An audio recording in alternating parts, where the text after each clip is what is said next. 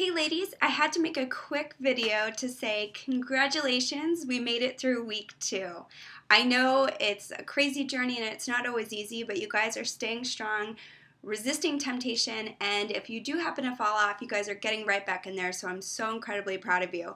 I just want to remind everyone to send me your progress pictures today for day 14, and I know I know it's something we all dread. No one wants to do it. Everyone thinks, gosh, I'm not going to see any progress, or I just don't want to face up to some of the decisions I made. Um, but just remember, the progress picture, you know, the purpose of it isn't just to track your progress, it's really to recalibrate your mind. It's really to get you back on track. So each week when you take that picture, it reminds you why you're working so hard and it's going to set you up for success in this upcoming week. So for those of you who have already gotten them to me, thank you so much. I'm incredibly proud of you. Um, and for those of you who are still dreading it and putting it off, honestly, just get it over with. Shoot it over to me. Don't worry about, you know, saying, everyone always says, I didn't see any changes, or like, I only saw this. Every little bit of progress is just that it's progress. And understand that it didn't take you a day to put on the weight, so it's not going to take you a day or even a week to take it off.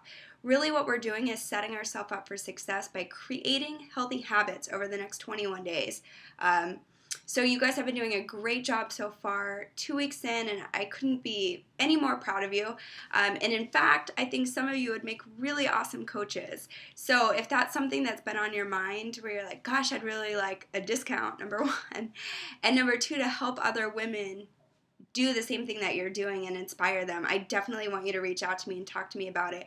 Um, but with that being said, let's go into week three strong. I know that we've got a lot of things coming up that uh, could potentially be obstacles in our way, a lot of family obligations and other exciting things going on.